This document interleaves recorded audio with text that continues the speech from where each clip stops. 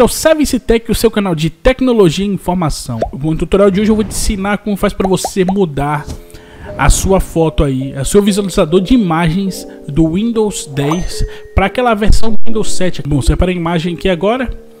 E aí eu vou clicar aqui duas vezes. Bom, esse aqui é ele abriu aqui e esse aqui é o visualizador padrão do Windows 10. Se você é igual eu que gosta de muito da mobilidade daquele visualizador de imagens do Windows 7, aquele, aquele mais antigo, você pode estar usando essa opção aqui. Eu vou estar deixando esse código embaixo na descrição. Você vai precisar de um bloco de notas. Você vai aqui gera um novo bloco de notas.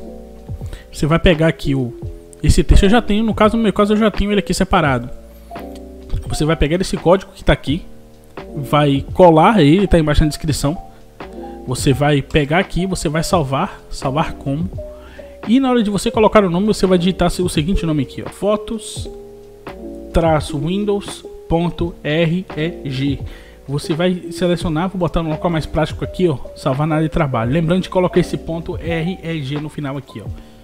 E aí você vai, da mesma forma que você está vendo escrito aqui, você vai colocar lá.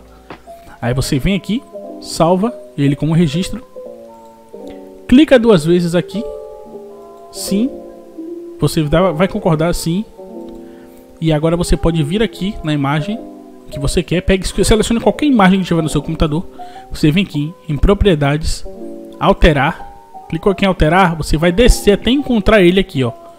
Quando você encontrar ele aqui na lista, você vai encontrar ele por aqui.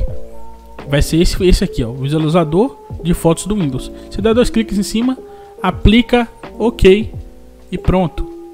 Você tem o seu visualizador de imagens do Windows 7. Se você quiser voltar para o padrão, é simples, não tem erro. Você vai vir novamente aqui, ó, propriedades, alterar, e aí você pode voltar para o seu visualizador clássico. Nada lhe impede, isso não vai modificar seu computador, não vai danificar seu PC, você não precisa estar baixando nenhum programa adicional para isso. Então, é isso aí. Se você gostou desse vídeo, deixa um like aí, se inscreve no canal, fica atento para mais vídeos. E temos diversos vídeos aí falando sobre informação, tecnologia, tutoriais, dicas. É isso aí. Cara, até um próximo vídeo. Valeu, falou e até mais.